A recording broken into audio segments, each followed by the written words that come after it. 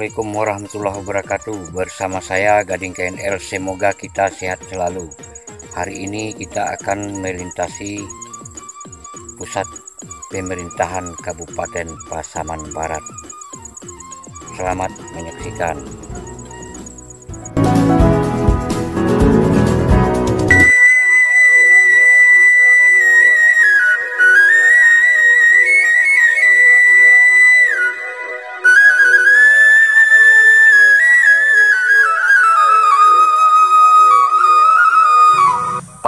pemirsa Gading KNL yang terhormat untuk mengawali perjalanan kita untuk menuju pusat pemerintahan Kabupaten Pasaman Barat maka jalan ini kita awali dari Bundaran Simpang 4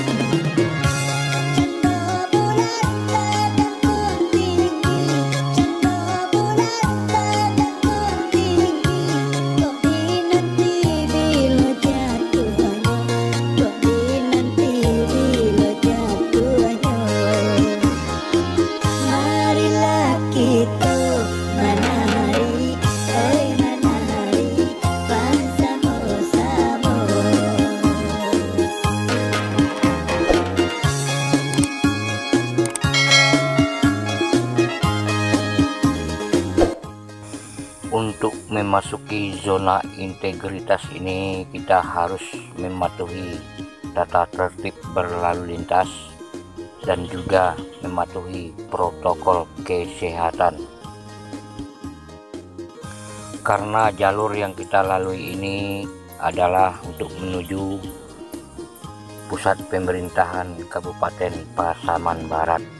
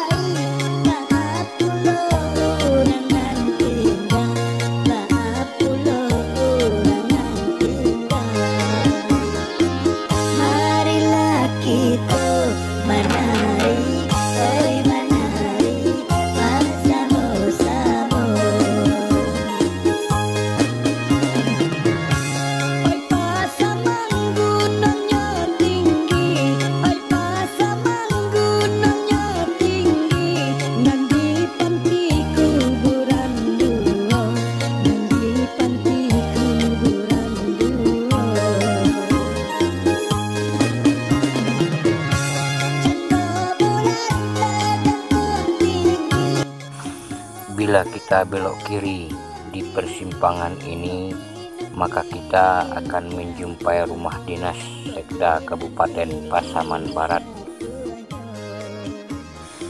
Dan jalan yang kita lalui ini akan melingkar dan dapat tembus ke persimpangan Masjid Agung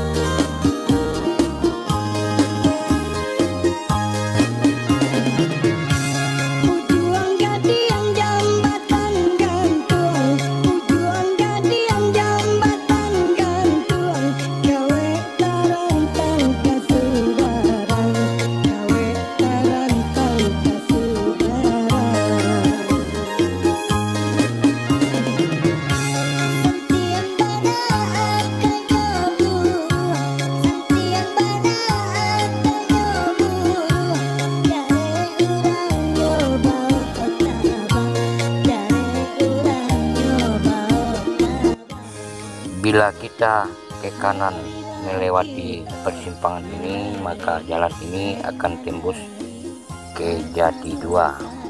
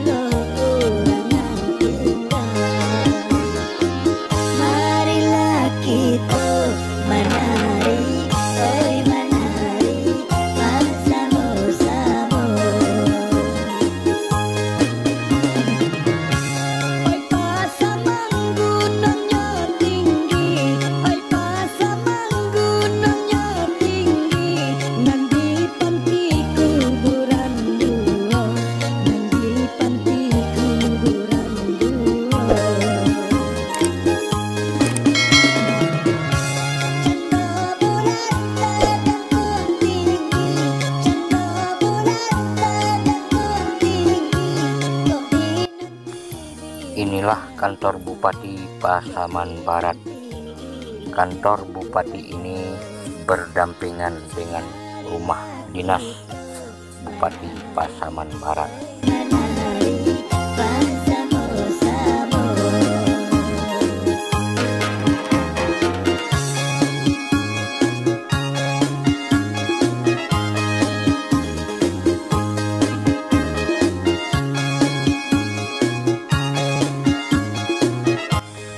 dan di depan kantor bupati ini kita dapat melihat yayasan rumah sakit Ibnu Sina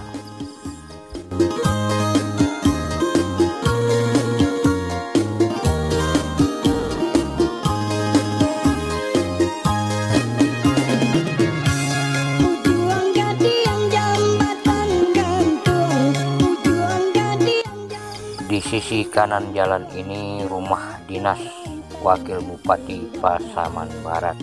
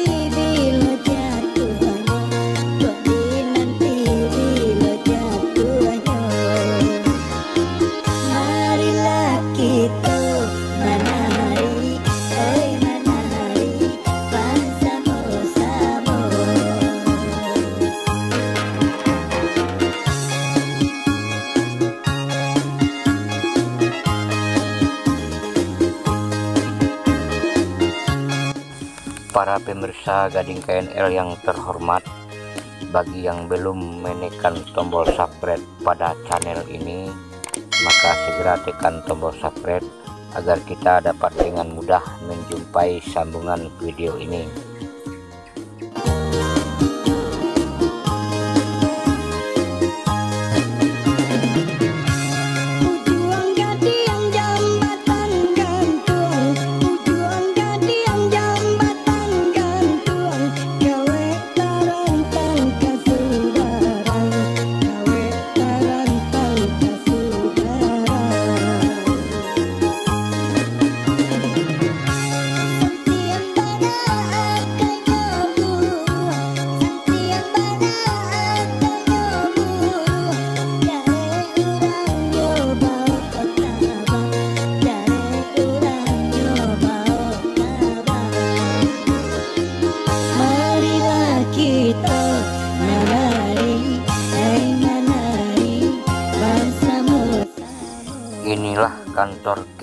Kejaksaan Negeri Pasaman Barat.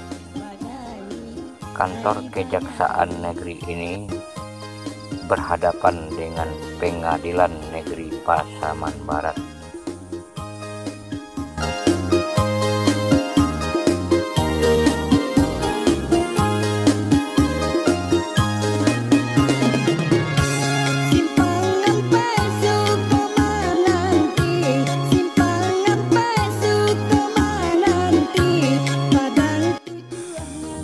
Kita ingin meneruskan perjalanan melalui jalur 32 ini maka kita akan sampai ke kantor DPRD kantor badan atau dinas lainnya di pertanian Sukamenanti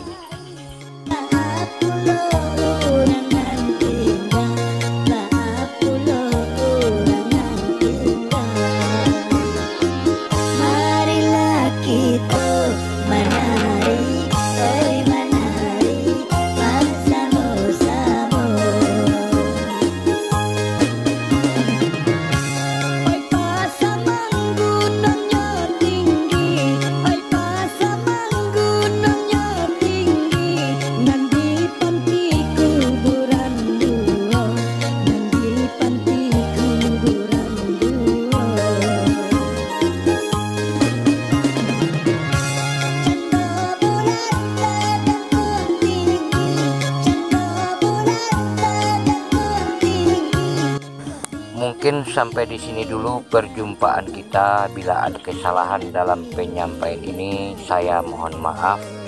Dan mari dukung channel ini dan jangan lupa tekan tombol subscribe nya agar sambungan video ini dan video terbaru lainnya dapat dengan mudah kita jumpai.